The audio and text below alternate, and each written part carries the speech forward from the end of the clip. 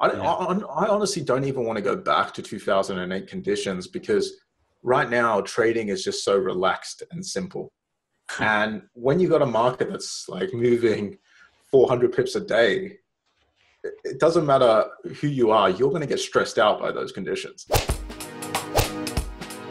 Welcome back, everyone. I'm sitting out today with Nick Bencino from Forex for Noobs and CryptoForNoobs.com. Uh, we had him a few times on the podcast. I think you were here three times on the channel on the podcast, Nick. So good to have you back. What's going on? Thank you. Good to be back. Yeah, nothing much, just the usual. How about you? Awesome. Awesome. So pleasure to have you here again. We'll talk today about something a little bit different than what we talked about last time. You were saying before going live that one of the biggest challenges for people now is the fact that the markets, especially forex, are kind of changing a little bit. So we see a lot less big moves than before. I, I feel, and there's less volatility than before. So I don't want to talk about that. But for people not knowing you right now that didn't see you before, tell people who you are and uh, just a bit of background about yourself. Uh, oh wow, okay. I don't really like talking about myself. Um, my name is Nick Bencino, as I'm sure you guys know because I was just introduced.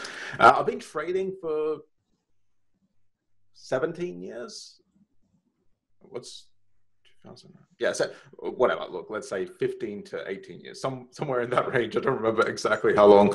But yeah i think it's about 17 years i've been trading. Uh, about five years into my trading career i started forexfornoobs.com uh, because you know there was just a lot of trash on the internet back then. Well i mean compared to now there's uh, there wasn't much trash but now it's a lot worse. But uh, i just wanted to start a, a site that actually taught people how to trade. And I decided to share my strategy. And I mean, ever since then, I've been just sharing the the same strategy, but it's obviously been evolving uh, over the last uh, over the last 12 years when I've been teaching it.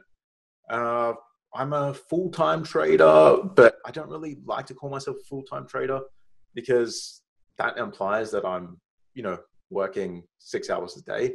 Most of my trading is done in uh, about an hour a day uh, because I'm just mostly just scanning the charts, looking for setups.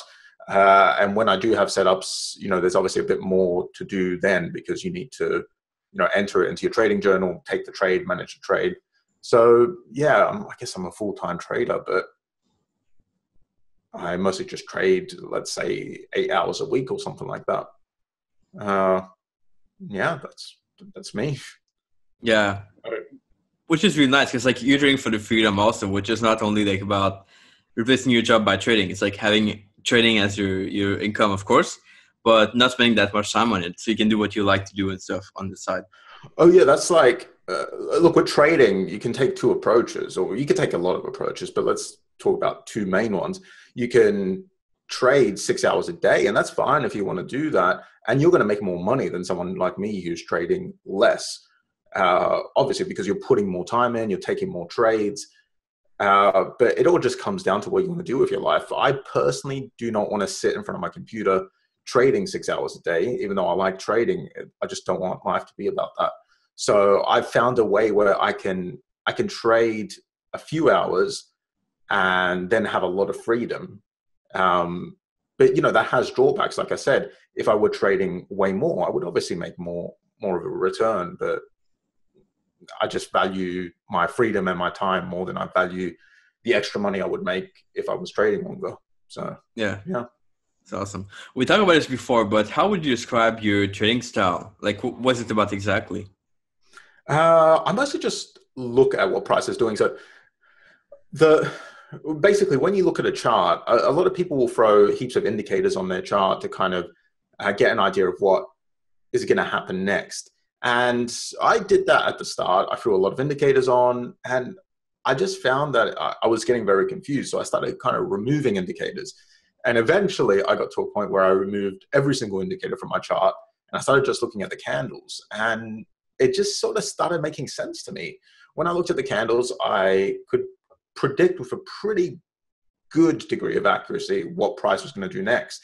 But then I realized candles weren't enough and I started putting support resistance areas on my chart.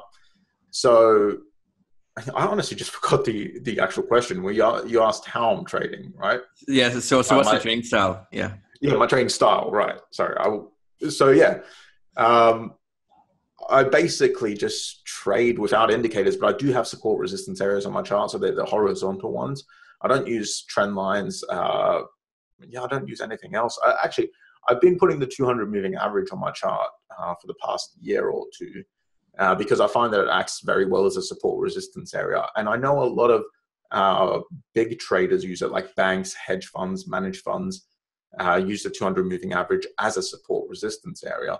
So I started using that on my chart. That way I could see what they're seeing essentially. And it's been pretty useful, but mostly, uh, yeah, I, don't have indicators on my chart and I just trade. Uh, I feel I believe it's called naked forex or something like that. Just trade price action and that's it. Mm-hmm. And that's the way I like it. But I don't say uh, there's nothing wrong with indicators. It's just it's just my personal choice not to have indicators. Yeah, it's your style. Awesome. Uh, are you trading also the trends with support and resistance areas, or are you pretty much trading ranges in the market? Uh, right now, I'm trading pretty much exclusively ranges because there just is no trends, and it's what we have exactly. So like you can't yeah. really force it, but I do love trading trends. Trends are awesome to trade because you can get like very good continuation trades in a trend. Mm-hmm. So like, you know, price will break through an area of support resistance. Um, I'll, I'll, probably uh, put an example of of this in the uh, the article that, that will be released with this podcast. So, you know, if you go back to even last year, the market was trending pretty well on uh, some pairs, not all pairs. So there was a lot of potential for getting into to big trends like uh, from memory, New Zealand USD was a huge trender. I'm just bringing up the chart, so because I don't want to miss. But yeah, so New Zealand USD last year, starting from around about uh, uh, this period in the year, actually April 17th, it started moving down and it was trending really, really heavily. Uh, and you know, I was all over that trend. I, that trend was a great trend to trade, but right now, um, New Zealand USD is doing the complete opposite of trending. It's ranging in a pretty narrow area, uh, and not just New Zealand USD. I mean, all of them. Euro USD is uh, Euro USD. We can explain uh, away because of Brexit. That's obviously not going to be trending a lot because there's a lot of uncertainty. As is GBP USD. But uh, even the others, AUD USD, the trend's gone. Um, pretty much all the majors, the trends are just dried up. Uh, oh, my charts, my uh, layouts are a bit of a mess. USD CAD, USD JPY. USD JPY, I guess, is the only one we could say that has been properly trending this year out of the majors. But it's it's not even a great trend. It's a bit of a weak trend, yeah, to be honest. Yeah. Mm-hmm, mm-hmm.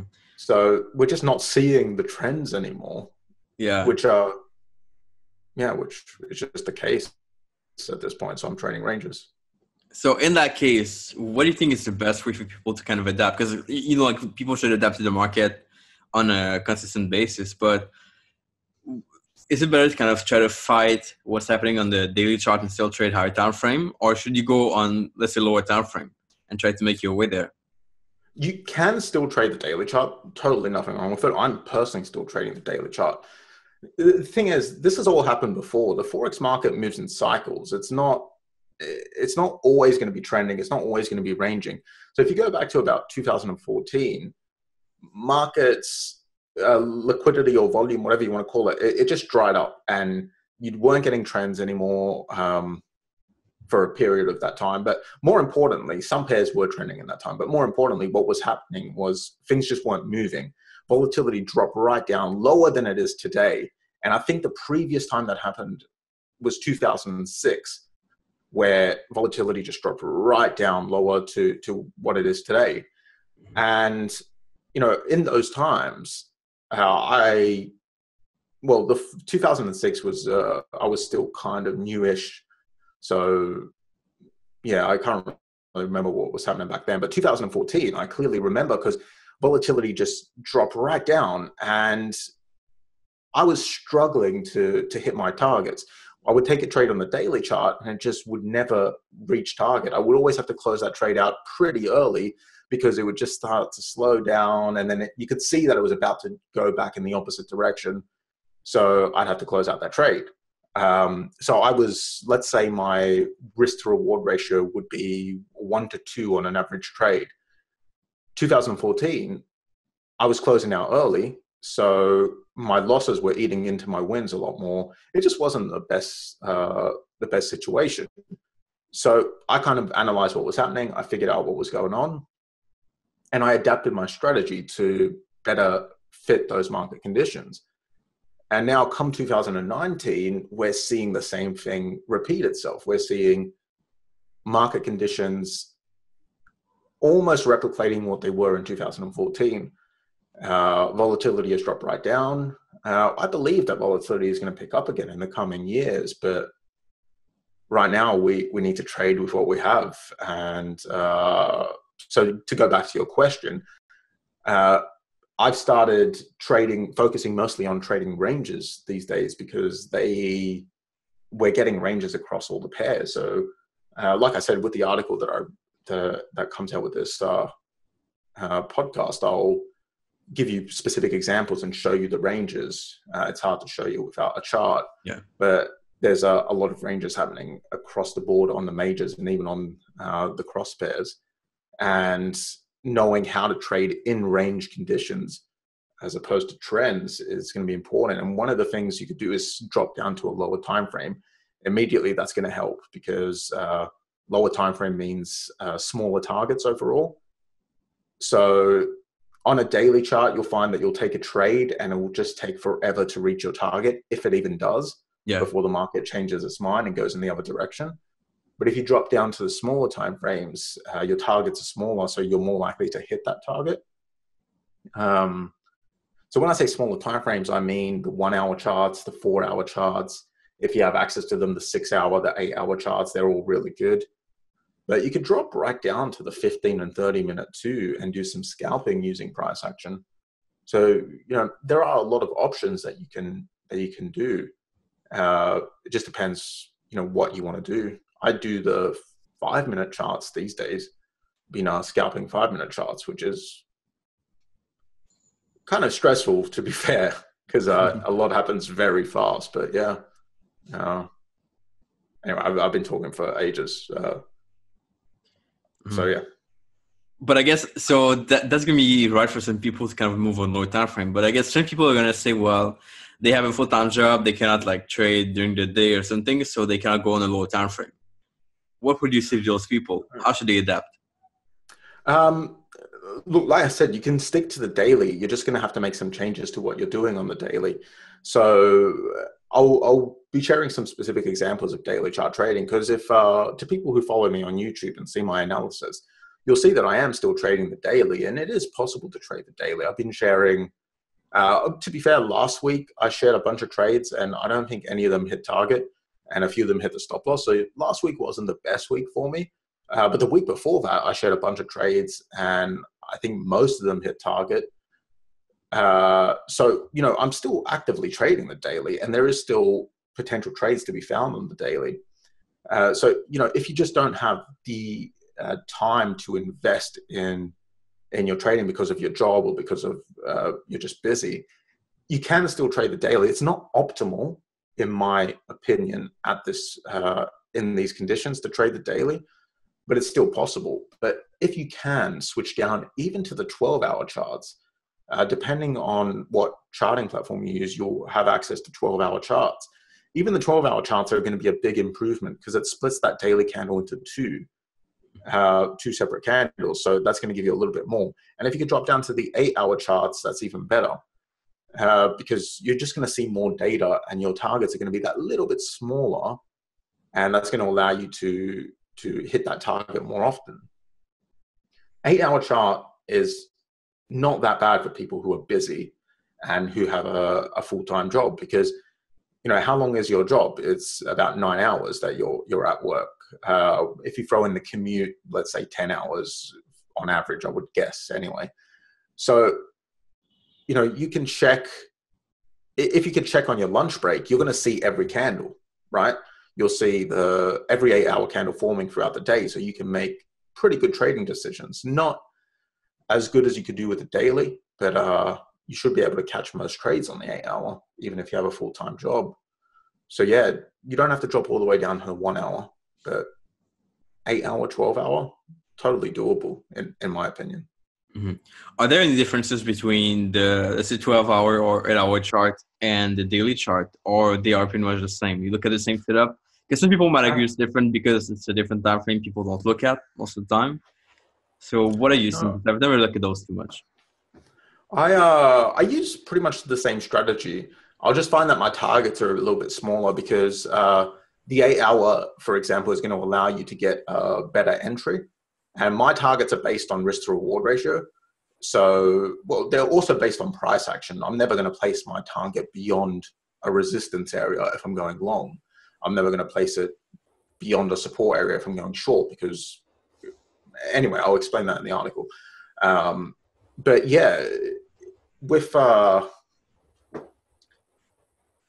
with the eight hour, so if you enter a trade, you're usually going to get a better entry than you do on the daily because the entry is going to because the candles are there's more candles you can get an entry that's going to be a little bit lower or a little bit higher depending the direction you're trading.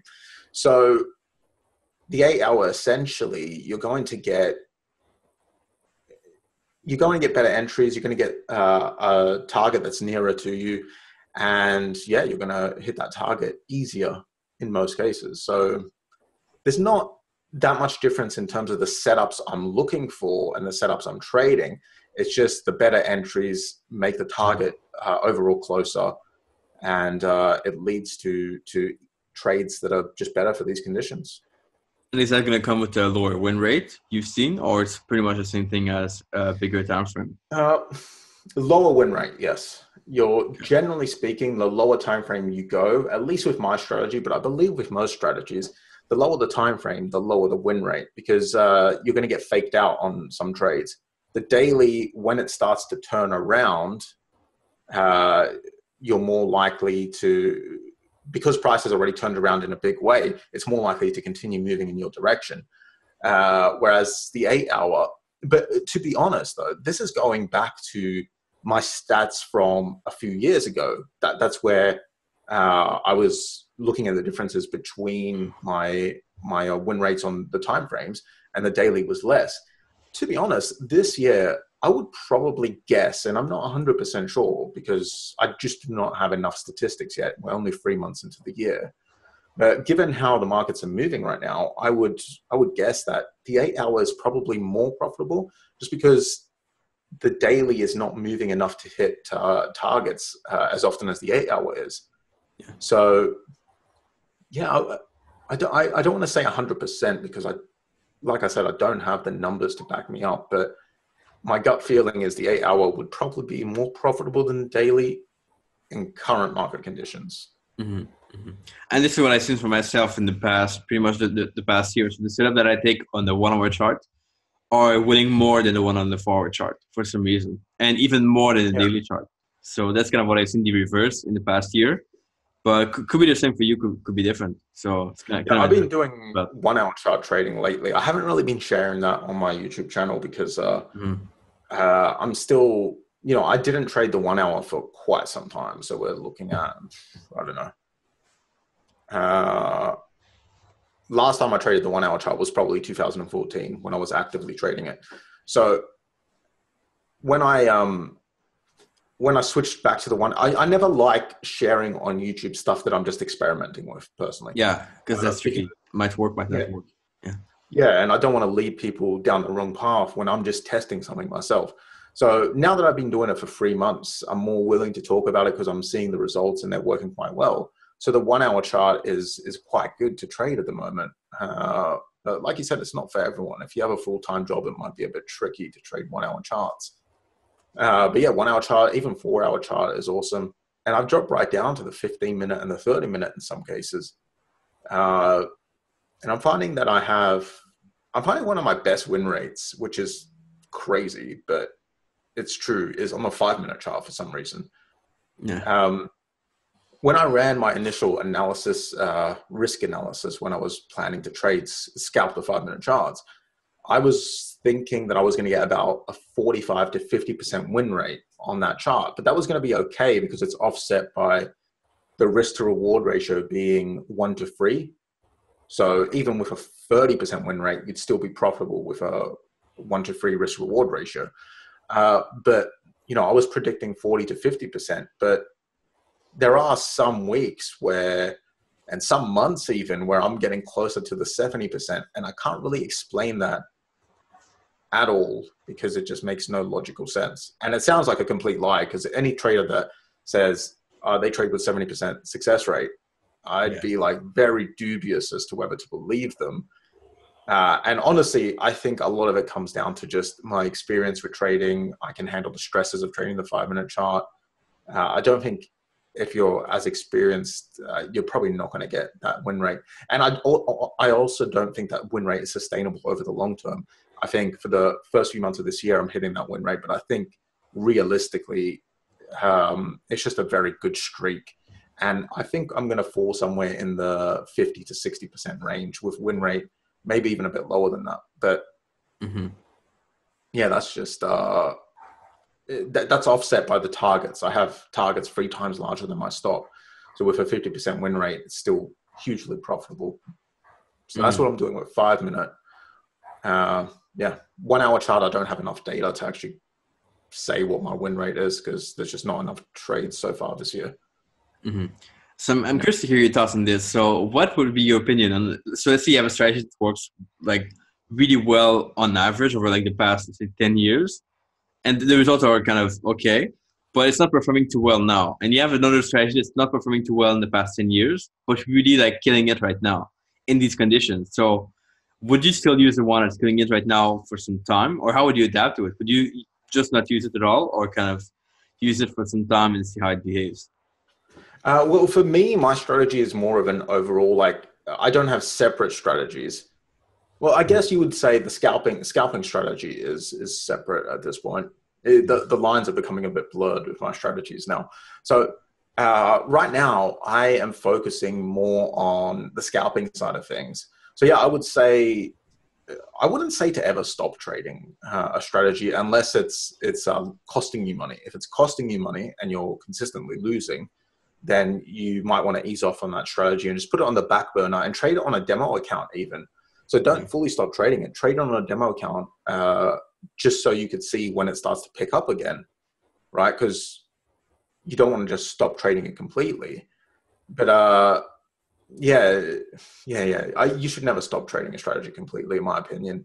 Uh, even professional traders, uh, I believe, because I do it personally, still trade demo accounts uh, just to test new ideas. And if I ever found that one of my strategies, uh, one of the two strategies, wasn't really working that well, I'd switch it over to demo, keep trading it just to kind of uh, work out some of the kinks, see what changes I can make and see mm-hmm. if it's just market conditions and market conditions need to swing back to a place where that strategy is profitable.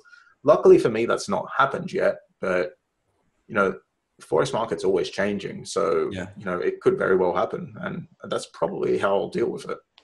And that's kind of what you have to adapt also. So I'm kind of curious for, because I really want people to be independent to kind of be able to look at the market and know when to change things.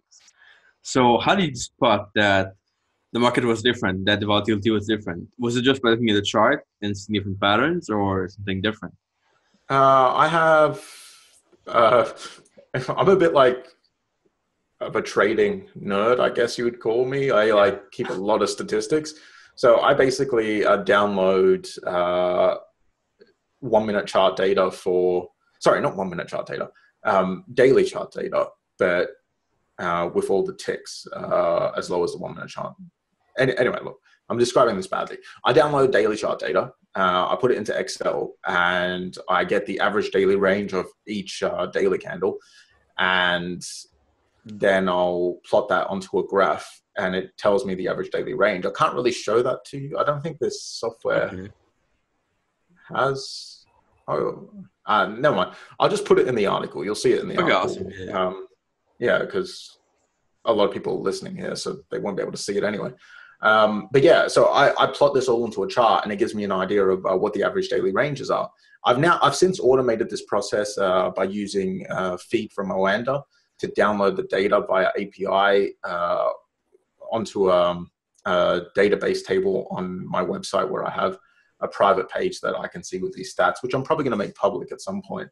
Uh, it's just in the testing phases right now, but um, in in front of me right now, I have uh, the average daily ranges across all the majors. So all the major pairs, on average, how much, how many pips do they move in a day from the highest to the lowest point? And that tells you uh, just how much stuff is moving. So volatility, uh, and it used to be 165 pips in on average in 2008 because uh, that was pretty much the peak time for forex, and that's uh, one of the, my best my best trading years ever was 2008 because the markets were just absolutely crazy.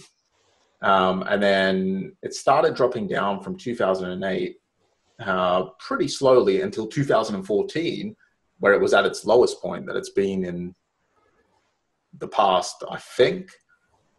I think the past 20 years. I could be wrong about that. Um, and then all of a sudden, boom, it picked up in 2015, 2016. It went back up to what it was in like 2010. Uh, and then all of a sudden, it started swinging back in the other direction and going back down. So, right now, uh, to sum this up, we're seeing 77 pips. In 2018, we yeah, saw an is, average movement of 77 pips per day across all the majors, which is very low. Which is and, less than half than before. yeah. Cool. Yeah. And um, now this year we're seeing less. It's only three months in, so we can't say what it will be like yeah. for the whole year, but we're seeing even less. We're seeing it drop down to 2014 lows. So it's averaging around 70 to 73 pips per day across all the majors, which is so low compared to yeah. our compared to what it's been. So yeah, that's why I've been adapting and, and changing how I trade and looking for ranges mostly. That's interesting was it performance in 2008 based on the financial crisis? Do you think there was a link, or was it two different things? Yes, I, I think there was a huge link. Uh, there, there, there, was a huge link. It was crazy. 2008. Anyone can see this themselves. Go to GBP JPY. Scroll back your charts to 2008 on the daily, and you'll just see some of the most insane movements you'll ever see in the forex market.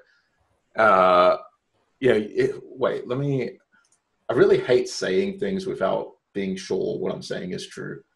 So I just want to quickly scroll back on this chart to tell you like the precise numbers.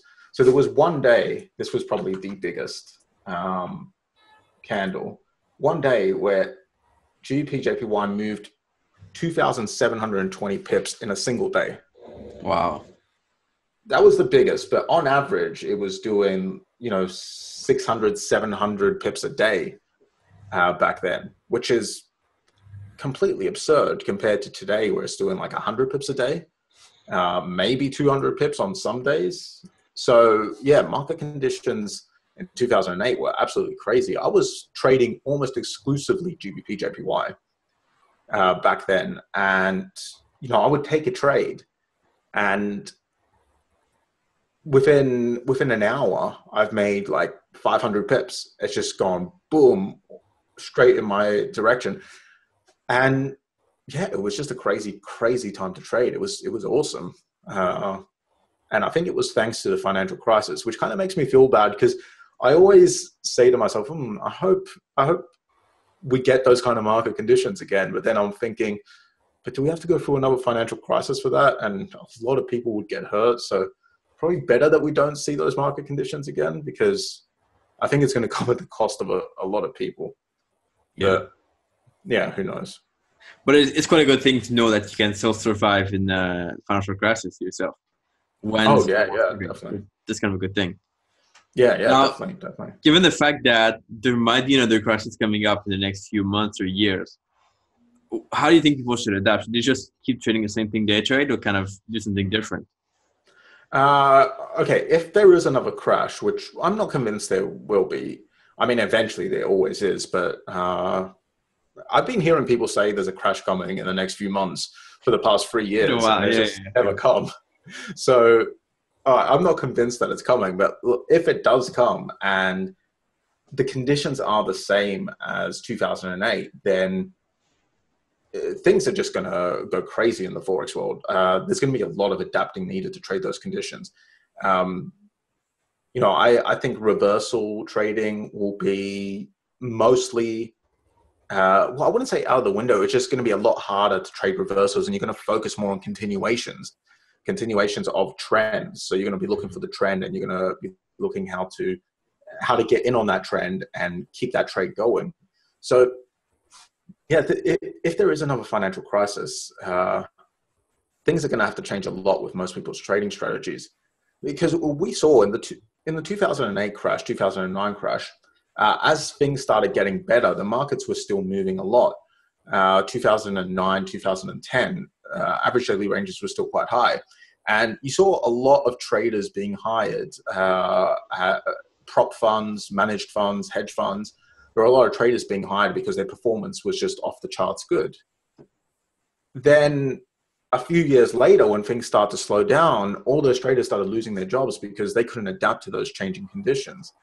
So you know, if the market cycles back to to uh, 2008 conditions, things are going to change so drastically that I think most trading strategies out there are, are going to have to adapt or die.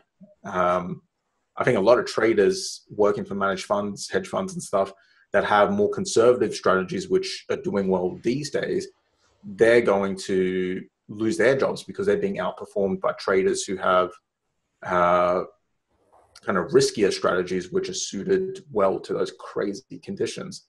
So yeah, I think for traders, traders are in a great position where in a financial crisis we can still make our living, but we are going to need to adapt and we're going to need to to make big changes to our strategies in order to to continue to make a living in those situations.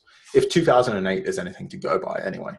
Uh, that's the hmm. only true financial crisis I've traded through. So I can't really say I have a lot of experience with it. But that's really interesting. It's like so I've never been through a crisis myself trading, so it's an interesting principle for sure. So glad to share this to people for sure. Awesome. Yeah, I'm really scared when it happens because not not for my trading personally. I think I'll survive fine in, in trading. I'm just scared for what's going to happen to the world next time a financial crisis hits. Yeah. So like that instability, things aren't that stable at the moment, and the instability of uh, of a financial crisis might tip things over the edge. So I personally do not want to see one, even if I might make a lot of money. I just don't want to see another financial crisis. But hey, it looks like it might might happen in the coming years. So just gonna have to yeah. do, uh, learn to deal with it. To go back to low volatility stuff, do you have any favorite setup in the market in low volatility, or is it kind of a mix of understanding what happens and then training that? A hundred percent ranges. Uh, I've always loved trading ranges, but uh, since around 2014, trading ranges became very hard because things were mm-hmm. kind of moving quite well. So uh, after the end of 2014's lows is what I mean. Um, so trading ranges kind of became a bit tricky uh, eh, because things just weren't ranging anymore. They were just kind of moving in decent trends. Uh, then last year, I felt that ranges really kind of came back. There were still trends last year, don't get me wrong, but there was a lot of trends and there were also a lot of ranges.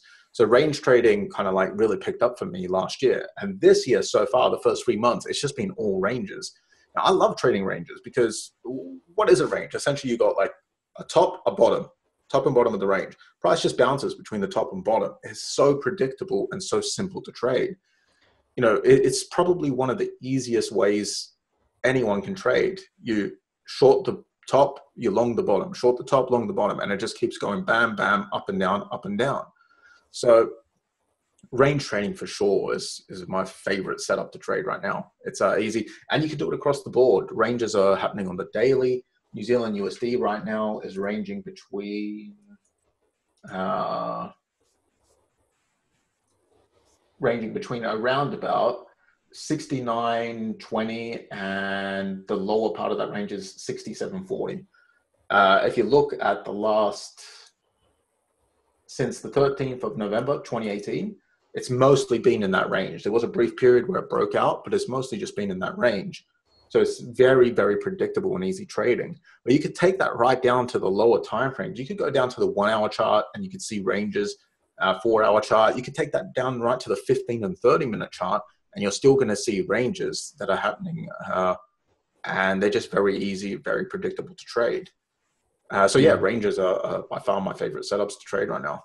They're awesome. Yeah, they have a specific way of trading them, or it's only placing orders at the top of the low of the range, or it's like something more in depth and more specific. I, it is a bit more in depth. I was I was simplifying a little bit there because you can't just you know as soon as it hits the top of the range short, you need to know where to place your stop loss, where to place your target, and uh, obviously your entry. So there is a bit more to it than that. I don't want to oversimplify things. I'll be doing a full write up on it, which will be released along with this awesome. uh, yeah. podcast, where I'll explain how I trade ranges and you know I'll, I'll, be going into it in depth so people will understand and and can trade them. But uh, even though there, it is a little bit more complicated than than I said, it's still, in my opinion, one of the easiest ways to trade. Uh, yeah.